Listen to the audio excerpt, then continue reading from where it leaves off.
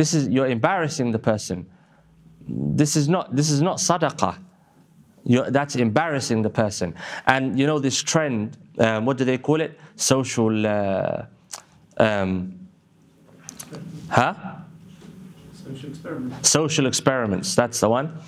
Where Allahu Alam, I mean, why is there a camera there? But the camera's there and the person is giving charity, you know, says, oh, I need this money. And the person says no, uh, or gives it and then say, no, I'm going to give you money. And what, like what, if you're going to give charity, give charity.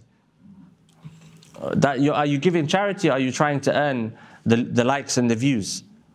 Uh, that for us as Muslims, this is unacceptable behavior. You go to a homeless person and you sit down and you eat with them, but why is there a camera there watching you eat with the homeless person? And, and then you, it's virtue signaling. And the reality is, you're putting this, you're, you're, you're degrading this person. This person's worth to you as a video clip.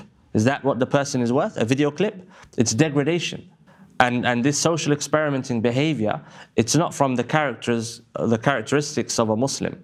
Um, a, a, Muslim does not degrade another person or humiliate another person. Likewise, when we give sadaqah, we don't have to place it in the hand and tell the person this is charity for you. No, tell the person this is a loan. Take it, and when you can pay me back, pay me back. With the intention of what? Of not taking the money back.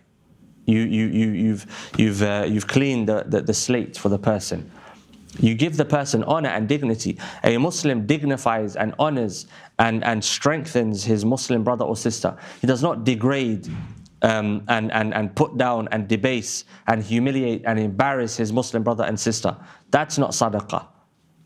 It's not, that's oppression.